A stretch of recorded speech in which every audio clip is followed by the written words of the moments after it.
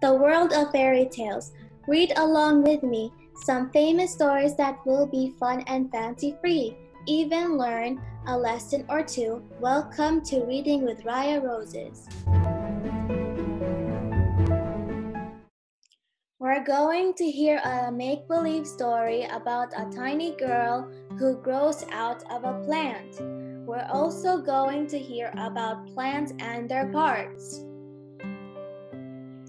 In the story, a woman plants a seed and a flower grows from the seed. Point to the following parts of a plant stem, leaves, petals. Can plants grow from a seed? Based on what I've told you, is this story fact or fiction?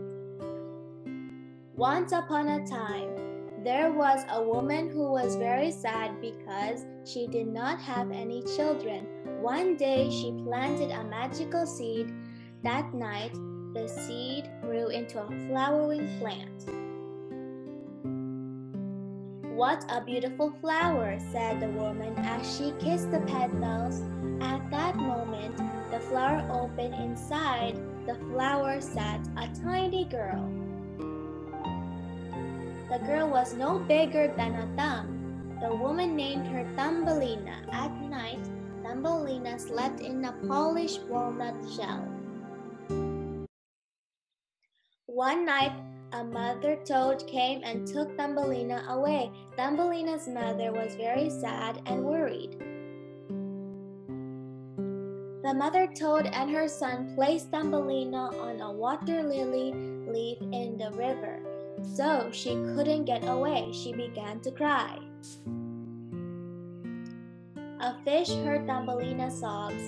The fish nibbled on the stem of the lily pad until the leaf broke free. Thumbelina floated down the river. Thumbelina stumbled on a nearby burrow where Mr. Mole lived. While in the burrow, Thumbelina found a swallow. The bird was cold and hurt. Thumbelina cared for the swallow and brought him food. When the swallow got better, he offered to help find her home. Together they flew around until they spotted her home. Thumbelina was very thankful that the swallow helped find her home. She and her mother lived happily ever after. The end. Could a seed really grow into a plant in just one night? No. Why do you think the toads took Thumbelina away?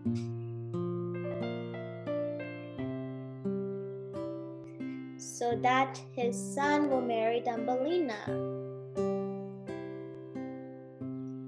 What did Thumbelina find in the burrow?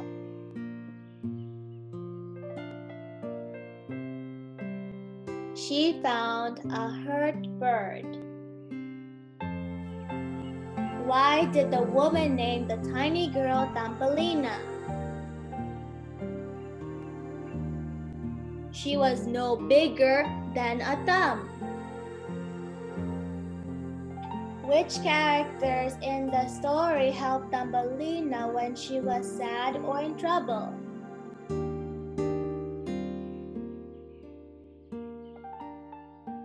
The fish, the bird, the mole, and the mouse helped Thumbelina. Where did the field mouse and the mole live? In the burrow. How did Thumbelina help the bird? She takes care of the bird and gives him food.